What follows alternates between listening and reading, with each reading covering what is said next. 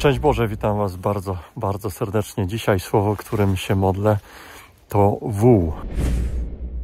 Słuchajcie, y, idę sobie i spaceruję y, w tej, w tej cudownej jesiennej y, atmosferze i modlę się tym słowem wół. Ono bardziej pewno pasuje na Boże Narodzenie niż, niż na okres zwykły.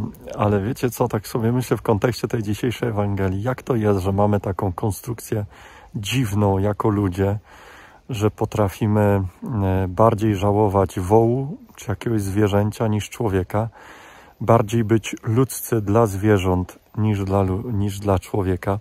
Oczywiście nie, nie mówię, że nie mamy ratować biednego wołu, który wpadnie do studni, czy, e, czy, czy być okrutnym dla zwierząt. Nie. Ale przynajmniej, żebyśmy byli dla drugiego człowieka tacy, jacy potrafimy być dla zwierzaków to już by było wiele. Nieraz tak widzę, ktoś idzie z pieskiem, potrafi go głaskać, przytulać, e, a do drugiego człowieka e, potrafi tylko warczeć.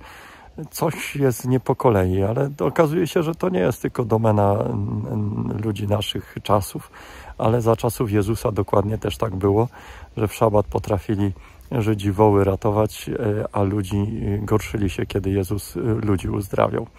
Przedziwne to jest i myślę, że wiele, wiele powinniśmy się z dzisiejszego tekstu jednak uczyć.